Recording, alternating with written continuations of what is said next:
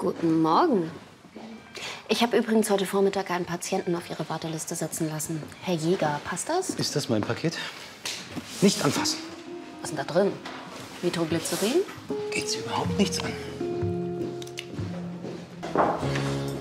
Hallo, der Herr Jäger ist jetzt da. Der Patient, den ich Ihnen kurzfristig... Nano? Ist das Geschirr? Es ist ein japanisches Teeservice. Sie haben Ihr Paket geröntgt? Ja. Wenn während des Transports was beschädigt worden wäre, hätte ich den Paketdienst verklagt und hätte eindeutig die besseren Karten gehabt. Muss ja verdammt viel wert sein. Meine Eltern haben es von einem buddhistischen Mönch bekommen. Was sind die Schalen denn wert, dass Sie sie wie rohe Eier behandeln? Viel. Aber für meine Mutter haben sie eine ganz andere Bedeutung. Es hängt eine Prophezeiung daran. Oh, wow. Fluch oder Zauber? Sind Sie abergläubisch? Unsinn. Aber meine Mutter glaubt daran. Und was denn? Also, wer diese Schalen erbt, der... Wird bald heiraten. Sie heiraten? Dieser Gedanke scheint Ihnen ja überhaupt nicht zu gefallen. Ich... Was soll das denn? Meine Mutter denkt, es ist Zeit für die Familienplanung. Also wäre das Zeug auf dem Transportweg kaputt gegangen, dann hätte sich die Prophezeiung doch elegant erledigt. Würden Sie so mit Ihrer Mutter umgehen? Da, dam, da, da, dam, da, da. Also.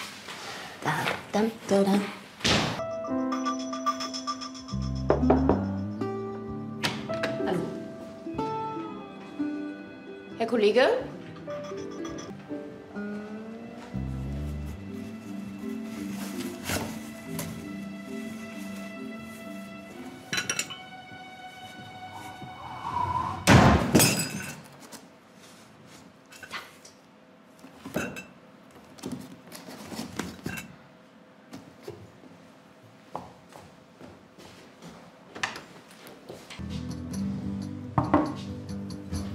Hallo.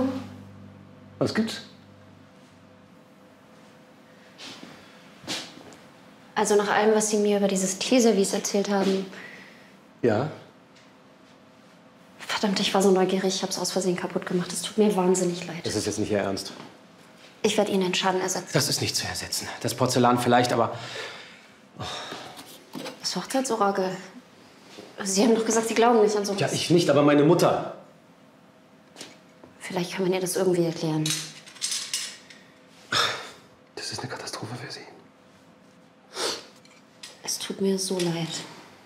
Ehrlich. Das ist schön für Sie, aber das bringt mir überhaupt nichts.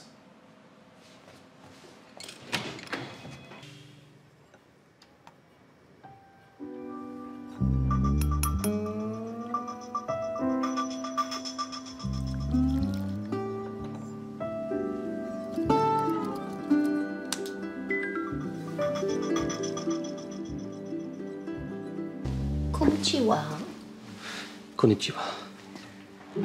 Was soll das alles? Teezeremonie. Bitte Platz zu nehmen. Was soll das alles? Wir machen gleich ein Selfie. Wir zwei, die Teeschalen und mein bezauberndes Lächeln. Das Bild geht an Ihre Eltern.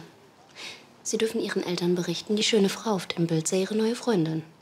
Die Prophezeiung des Porzellans hat sich erfüllt. Sie sind nicht meine Freundin und das Porzellan ist zum größten Teil durch Ihre Hand zerstört. Deshalb erzählen Sie Ihren Eltern nächstens, das mit Ihrer neuen Freundin sei wieder vorbei. Weil die grobmotorische Kuh beim Abwasch fast das ganze Geschirr zerdeppert hat. Sohn wieder solo. Mama versteht's. Sie sind ja total irre. Aber gerissen. Handy.